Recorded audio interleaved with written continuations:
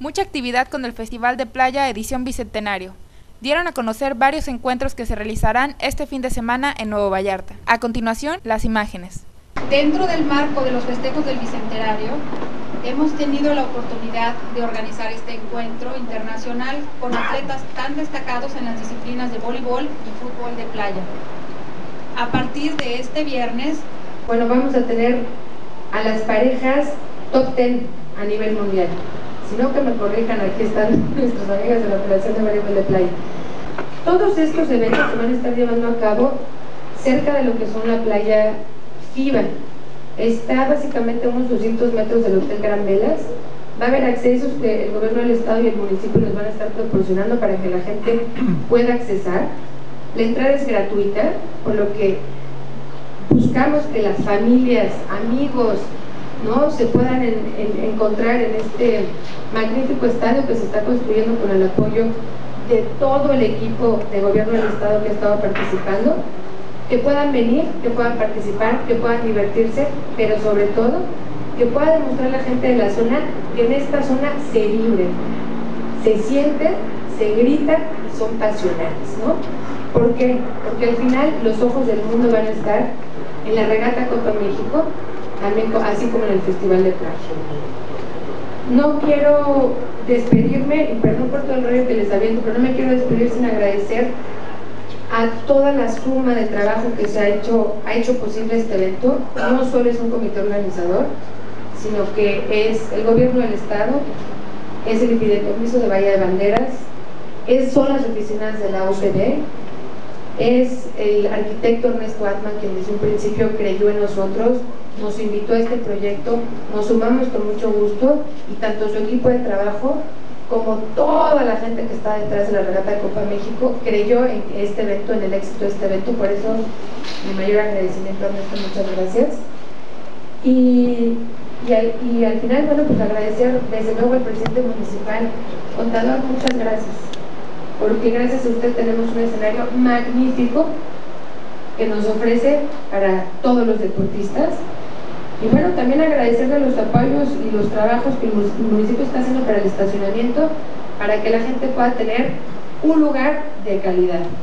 Entonces me despido, medios de comunicación, muchas gracias por acompañarnos. Cuando escuché la posibilidad de que pudiéramos tener un evento de playa, de veras, sinceramente me entusiasmó la idea. Yo soy velerista, soy presidente de la Asociación Mexicana de Vela Oceánica, soy presidente del Circuito Mexicano de Regatas Oceánicas, soy vicepresidente de la Federación Mexicana de Vela y actualmente presidente de la Copa México. Pero esto no quiero presumirles, lo que quiero decirles es, estoy muy metido en el deporte de la vela, no haciendo deporte los deportes de playa. Entonces mi corazón y mi entusiasmo estaba hacia la vela. Sin embargo, en las reuniones que tuvimos cuando iniciábamos este, este comité organizador, en la estructura del evento, se presentó la posibilidad de que tuviéramos estos deportes de playa dentro del marco de la Copa México, dentro del marco de este torneo del Bicentenario. La importancia de tener este evento de playa dentro de la Copa México es primordial. El deporte de vela no es un deporte fácil para observarse, desde la comunidad de la playa, desde una tribuna. Es un deporte que se realiza a mar adentro, lejos normalmente de las costas, de las olas, porque ahí es donde se encuentra el viento. Son las condiciones climatológicas las que obligan a establecer ciertos lugares de, de recorrido, ciertos lugares para establecer las pistas. Ante esta preocupación yo decía, vamos a estar en un gran evento en la Riviera Nayarit, vamos a, crear un evento a nivel mundial, a nivel internacional, ¿y qué va a pasar con la comunidad? ¿En dónde ve la comunidad ese evento? ¿Cómo puede observar ese evento? Si la comunidad no logra tener embarcaciones que los puedan llevar a ver los eventos y que además no son fáciles de entender porque hay una serie de reglas, una serie de handicaps, de ratings para saber quién va realmente ganando y el que va en primer lugar aparentemente no va ganando, puede ser el que va en último lugar porque hay unas compensaciones de tiempos de tiempos corregidos que se tienen que otorgar. Entonces es un deporte que no solamente hay que irlo a, observar, sino hay que entenderlo, requiere de una explicación de lo que está pasando en el entorno del, del desarrollo del evento.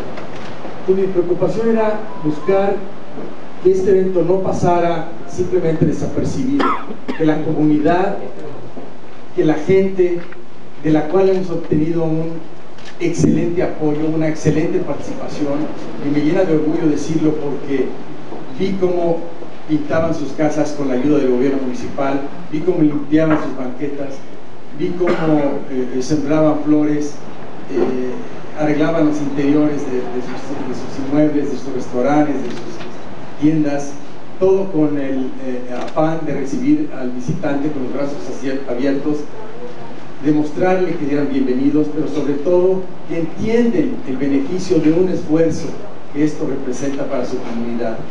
Entonces no se vale que nosotros tengamos un evento sin hacer partícipes de este evento a la comunidad. Este evento de playa es exactamente lo que necesita y es el ingrediente indicado para cerrar con broche de oro un evento de esta magnitud y de este nivel. Incorporamos también un deporte adicional de la vela, un deporte nuevo dentro de la vela que se llama el kitesurf, que son estos parapentes que son impulsados por el viento, en donde a través de unas cuerdas los participantes van a bordo de unas pequeñas tablas y se van deslizando. Este es un deporte extremo, es el deporte de mayor crecimiento en el mundo y que hoy por hoy tenemos inscritos a 150 competidores. Y un dato importante adicional es el campeón mundial en este momento de este deporte es un mexicano. Este es un deporte que se practica a la orilla, en, la, ola, en donde rompe la ola, brincan y está eh, eh, eh, dividido en dos categorías, en dos modalidades. Una que es la acrobacia y otra la pista. La acrobacia es la que realizan en la ola, cuando rompe la ola, que es el, momento que brincan, y es el, kitesurfista que hace el, salto más largo, el que se mantiene mayor tiempo en el aire, el que da la pirueta más sofisticada, más complicada, y eso es lo que viene la calificación de los jueces hacia el área de, acrobacia. Y luego la de pista, que es un recorrido establecido para, para de velocidad. Pero esto, ¿qué es lo que hace este deporte? Permite también que desde la comunidad de la playa pueda la comunidad observar este deporte y ver lo que está pasando. Y que se tengan micrófonos y que se tengan eh, eh, anunciadores eh, dando los resultados, explicando qué es lo que está pasando. Con todo esto, ¿qué es lo que pretendemos? Que la comunidad sea partícipe de este evento. Esto, desde el momento que cayó también en manos de las autoridades, fue sumar, sumar, impulsar, apoyar. El apoyo del presidente municipal en ese sentido es muy importante, de Georgina, muy importante, de las universidades, de los tecnológicos, eh, de los colegios del mar, todos los eh, alumnos interesados en participar. Tenemos aproximadamente 200 voluntarios, si no me equivoco, que no están cobrando absolutamente nada, que nos hemos permitido regalarles una camiseta del, evento para mantener una imagen y que lo están haciendo con mucho orgullo, con mucho gusto y muy bien lo están haciendo. Esa es, la importancia de un evento de estos, lo que viene atrás, lo que deja la comunidad, lo que deja a, la locación en donde se está llevando a cabo. Yo quiero agradecer a, a Lucía porque pasamos tiempos muy difíciles para poder tener los recursos adecuados para no simplemente tener una red en la playa. De veras montar un estadio, tener las condiciones que se tuviesen que dar, invitar a países participantes del nivel que están participando para que eso le dé el nivel internacional, el nivel de un evento del Bicentenario que estamos hoy celebrando. Para notivallarta.com, Saide Gómez.